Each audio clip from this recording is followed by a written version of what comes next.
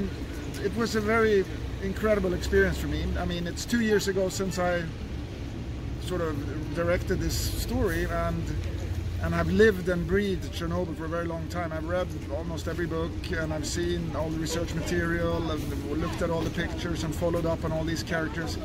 And for me now to actually be where it really happened, I was in, in Lyudmila Ignatenko's apartment, I was in Dyatlov's apartment.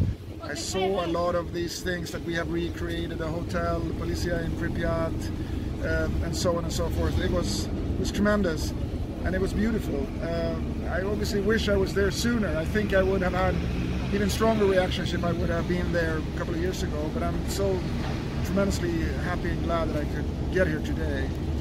Uh, so it's it's a memory for life for me, and I will never ever forget this. Uh, we also happen to have the best guide you could ever imagine for something like this. A very skilled, knowledgeable, and articulate uh, person who uh, actually knew a hell of a lot more than I about a lot of the things that we encountered, and a lot of I could actually ask her questions um, on things that I was unsure of, and get brilliant answers on.